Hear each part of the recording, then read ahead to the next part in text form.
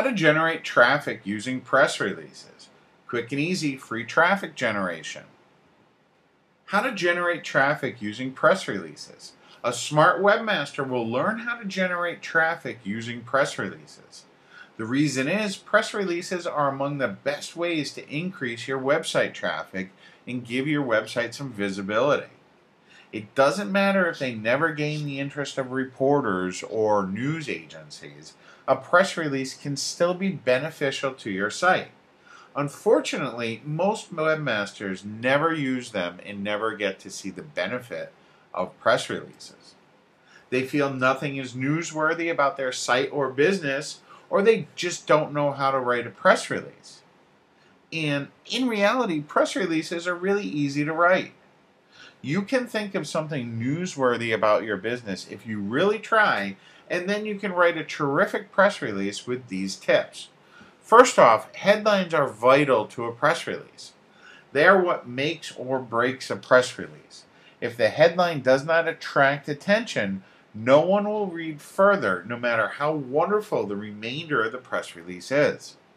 Now, if you have no ideas, what I do is take a trip down to your local library or newsstand and take a look at the headlines of some of the popular newspapers.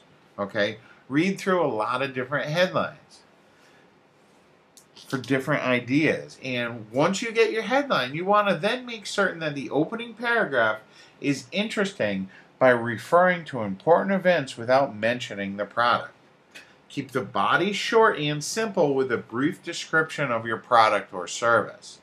Then you're going to conclude the press release by summarizing the benefits and what services your website offers. Remember, you do not want to come across as an advertisement. This is a news press release. This is a piece of news, so treat it accordingly and don't get too hypey, or else your press release will never get picked up. Now, though the concept is to promote your website, the copy should read like it was written by an unbiased third party, like it was written by a reporter. You want to put yourself in the place of a reporter who gives the who, what, when, and why behind the business. Avoid product hype and just give the facts. Next, you'll need a press release service to go ahead and distribute your press release. Many of these press release services are free and a site like PR Web is a great place to get started, but some do charge a small fee. Now, submitting your press release is about the same as submitting an article to an article directory. It's not that hard. Now you know how to generate traffic through press releases. Why don't you go out there and give it a try and see how it works for you and your business?